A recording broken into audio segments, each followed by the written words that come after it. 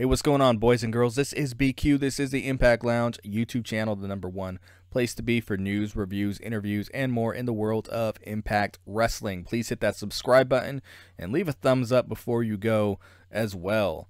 So, if you follow Impact Wrestling on social media, you already know that they have added Alicia Atout in what seems to be an official capacity as a backstage interviewer for Impact Wrestling. She's worked the one night only in Twitch shows, and she has her own brand her uh, YouTube channel and her website, AMBY, where she interviews independent stars, interviewed a whole shitload of Impact stars, and then music artists as well. She is phenomenal what she does. She's the best at what she does, an absolute up and comer in this wrestling world when it comes to this backstage interview gig, and she's absolutely beautiful too. When you when you hear people talk about someone's personality making them even more attractive, that is Alicia to a T. She's very good, very natural, and very passionate at what she does. And she's a tremendous addition to the Impact team and should really provide some great backstage work. That being said, what I'm being told is that McKenzie Mitchell is out officially.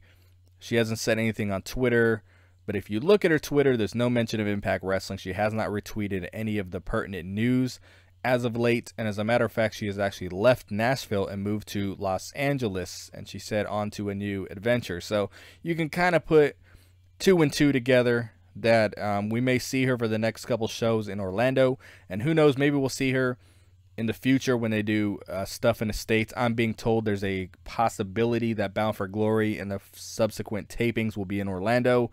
But let's just hope um, they keep this Canadian thing going. So this makes a lot of sense from a financial standpoint because Alicia lives in Canada, and uh, frankly, she's she's better at the job. I mean, McKenzie was doing a uh, very good job and had grown quite a bit. I bet I bet she's the first person to tell you she doesn't want to watch her old stuff with Impact.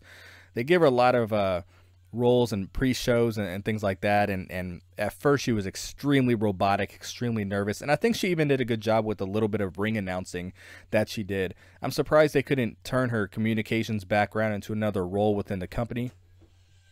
But it looks like they chose to go the route that you know probably makes more financial sense. And um, again you know i hate to say i hate to compare the two because but Alicia's better at what she does, but she's better than everybody and uh, it sucks because it, uh, you know McKenzie's one of those people that you felt you felt like she was going to be along, uh, be around. I'm sorry, I'm stumbling over myself today. Uh, that she was going to be around for the long haul with the company. She really looked like someone that was fitting in within the family and everything. I think she was a Dixie Carter hire though, so it kind of makes sense. You know, the new guys come in, they kind of want to use their people. She probably, Alicia probably has a long-standing relationship with Scott D'Amore you know, put two and two together and business decisions are going to be made that uh, make sense in all areas. So let's hope we see good things from, you know, McKenzie going forward. I'm sure that she's going to do, um, you know, pursue modeling and everything more, you know, moving out to Los Angeles. That is a land of opportunity. So let's hope really good things happen for her because she um she really gave it her all for the company and she was really a company girl and from what I remember with her, she did not grow up a wrestling fan. So I think she, you know, as time went, I think she really rolled with the punches, and I think she seamlessly integrated in with what Impact was doing.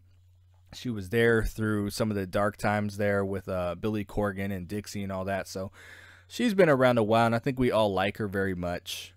So it kind of sucks to see her go if that is in fact what is happening but Alicia's the best possible person. You know, if they were going to say, hey, we're going to replace McKenzie, this is the person to do it with. And, you know, this is not someone we want to see go to NXT or anything like that. We want to hear an Impact Wrestling. That looks like what has happened.